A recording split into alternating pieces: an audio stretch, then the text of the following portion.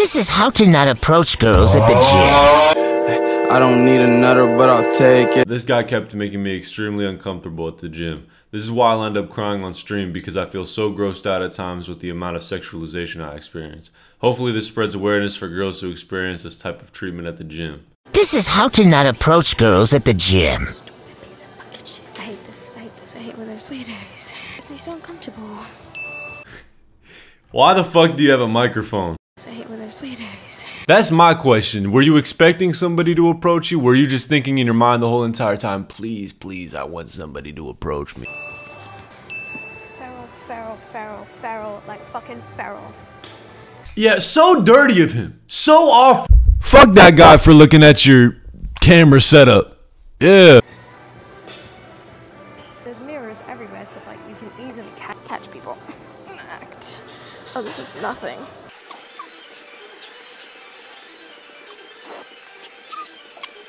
Okay, we're gonna move on to the 35s now.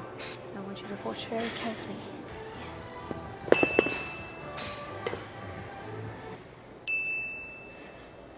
Just watch. This is the five adds five pounds. And these are the rates.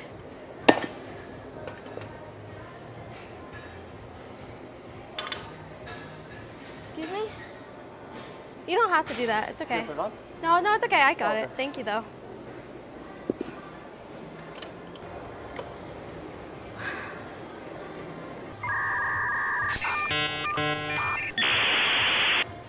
See what I mean? All right, here we go. To go to the gym with girls.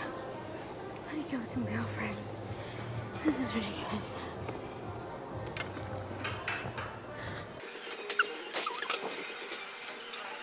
I gotta be careful. I gotta be fucking careful. Can't be too fucking. What part of me working out by myself looks like I'm a fucking damsel in distress? I'm not.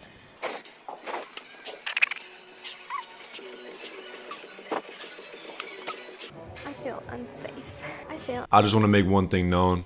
She's doing all this mental gymnastics just because some dude offered to help her. Goodbye. Now I want to ask y'all a question. Who's the weirdo in this situation? I want y'all to think.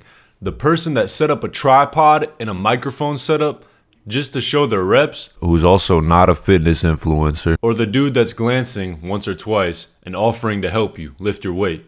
I got a problem with content like this because it influences women to think that dudes are actual creeps in the gym. And I'm not saying they don't exist, right?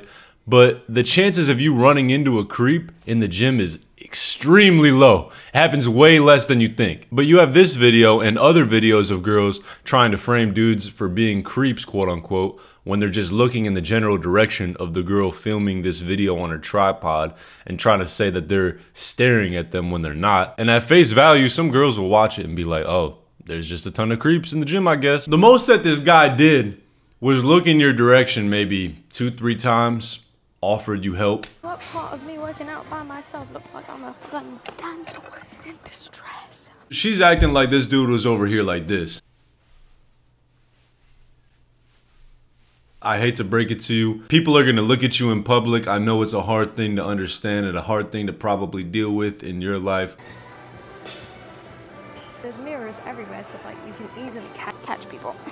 Act. Her biggest problem in this situation was that she was being sexualized, right? I take a look at her Twitter bio. There's an OnlyFans link. I don't need another, but I'll take it.